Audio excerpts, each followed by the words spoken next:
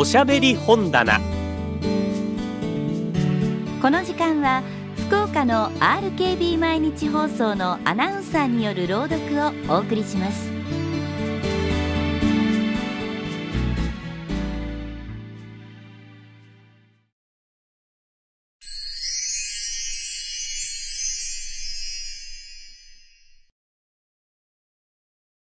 林芙美子作朝ごはんロンドンで2ヶ月ばかり下宿住まいをしたことがあるけれど2ヶ月の間中朝ごはんが同じ献立だったのにはびっくりしてしまった。オートミールハムエッグスベーコン紅茶さすがに並行してしまっていまだにハムエッグスとベーコンを見ると胸が使えそうになる時がある。日本でも365日朝は味噌汁が絶えない風習だ。イギリスの朝食というのは日本の味噌汁みたいに365日ハムエッグスがつきものなのだろうか。ただしロンドンのオートミールはなかなかうまいと思った。熱いうちにバターを溶いて食塩で食べたりマーマレードで味付けしたり砂糖とミルクを混ぜて食べたりしたものだった。パリでは朝近くのカフェでクロワッサンパンの焼きたてに香ばしいコーヒーを私は楽しみにしていたものである。朝ごはんを食べ過ぎると一日中頭や胃が重苦しい感じなのでパリ的な朝飯は一番私たちにはいいような気がする。入れたてのコーヒー一杯で時々朝飯抜きにする時があるが大抵は紅茶にパンに野菜などの方が好き。この頃だったらきゅうりをふんだんに食べる。きゅうりを薄く刻んで濃い塩水につけて洗っておく。それをバターを塗ったパンに挟んで紅茶を添える。紅茶にはミルクなど入れないでウイスキーかワインを12滴混ぜる。私にとってこれは無上のブレックファーストです。徹夜をして頭が朦朧としている時は歯を磨いた後冷蔵庫から冷やしたウイスキーを出して小さいコップに一杯。一日が驚くほど活気を呈してくる。特に真夏の朝。食事のいけぬ時に妙である。夏の朝は私はいろいろと風変わりな朝食を楽しむ。飯を食べる場合は炊きたての熱いのに梅干しをのせて冷や水をかけて食べるのが好き。春夏秋冬炊きたてのキリキリ飯はうまいものです。飯は寝てる飯より立ってる飯艶のある飯穴ぼこのある飯は嫌い。子供の寝姿のようにふっくり盛り上がって炊けている飯を質によそうときは何とも言えない。味噌汁はタバコ飲みの人にはいいが私のうちでは1ヶ月のうちまず10日ぐらいしか作らない。あとは大抵野菜とパンと紅茶。味噌汁やご飯を食べるのはどうしても冬の方が多い。これからはトマトも出回る。トマトはビクトリアという桃色なのをパンに挟むとうまい。トマトをパンに挟むときはパンの内側にピーナッツバターを塗って召し上がれ。おいしきこと天井に昇る心地。その他佃煮の類もパンの付け合わせになかなかおつなものです。マーマレードは大抵自分の家で作る。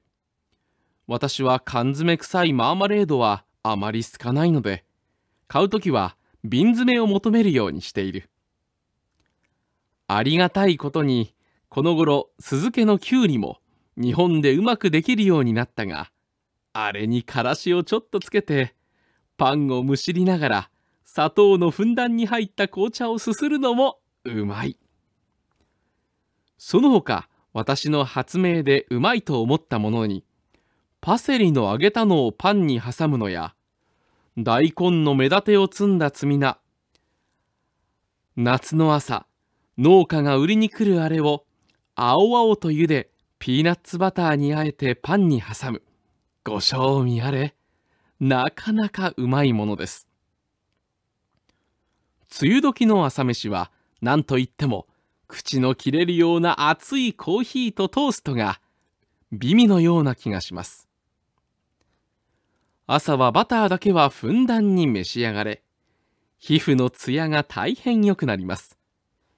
外国ではバターを使うこと日本の醤油のごとくです。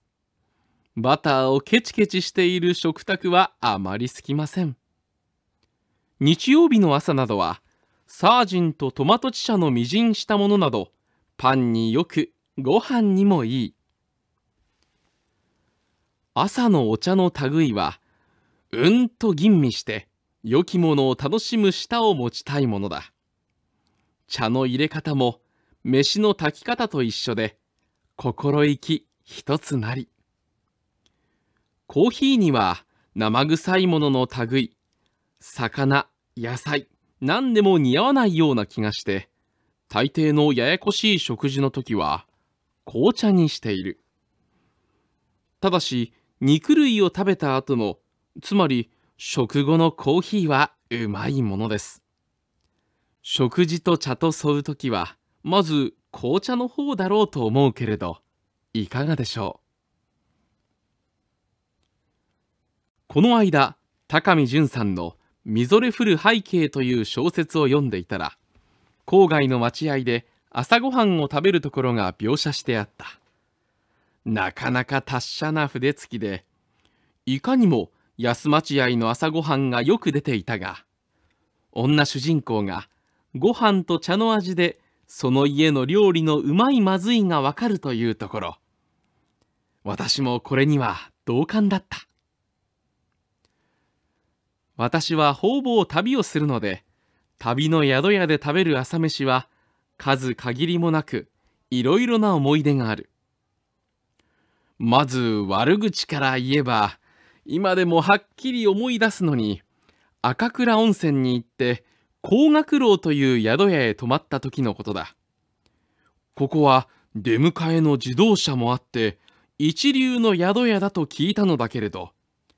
朝飯にふかし飯を出されてびっくりしてしまった。ちょうど5月頃の客のない時で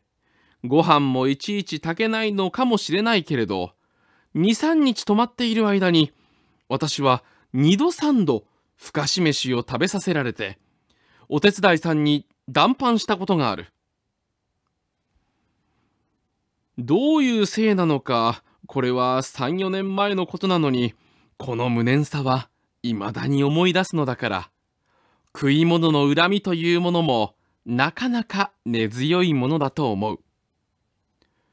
朝飯に限らず食事のまずいのは東北。しかも樺太あたりに行くと朝から生臭い料理を出される朝飯がうまかった思い出は静岡の辻梅という旅館に泊まった時だここでは何よりもまず茶のうまいのが楽しい。京都の縄手にある西竹という家も朝ごはんがふっくり炊けていてうまかった。それからもっとうまいのに船のご飯がある。船に乗るたびに思うのだけれど大連航路の朝のご飯はつくづくうまいと感心している。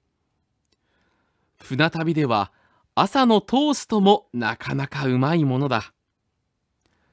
パンで思い出すのは北京の北京飯店の朝のマーマレード。これは誰が煮るのか、澄んだ飴色をしていて甘くなく、酸っぱくなく、実においしい。私はめったに友人の家へ泊まったことがないけれど、鎌倉の深田久也氏の家へ泊まった時の朝ごはんは、今でも時々うまかったと思い出す。奥さんは見かけによらぬ料理好きで、ちょいちょいと短時間にうまいものを作る才能があって、火鉢でじーじーと炒めてくれるハムの味、卵の蒸し方、香のもの、思い出してよだれが出るのだから、よっぽど美味しかったのに。違いない。私は朝の肉は気にかからないが、朝から魚を出されるのは平行。中国地の魚どころへ行くと、朝からシャコの煮付けなんか出される。朝食べられる果物は体に金のような作用をするそうだけれども、全く中国地でありがたいのは、果物がふんだんに食べられること。私はこの頃、朝レモンを輪切りにして水に浮かして飲んでいるけれど、運動不足の体には大変いいように思う。今頃だといちごの砂糖にもパンと付け合わせて美味しいし、インギンのバター入り、熱い小吹き芋に金沢のウニをつけて食べるのなど、夏の朝には楽しいものの一つだと思う。ウニは方々のを食べてみたけれど、金沢のウニが一番うまいと思った。これは朝パンをトーストにしてバターのように塗って食べるのだけれど、これはちょっとうますぎる感じ。食べ物の話になるともっともっと書きたいのだけれど、一息休ませてもらって、そのうちうまいものを食べ歩きでも書きましょう。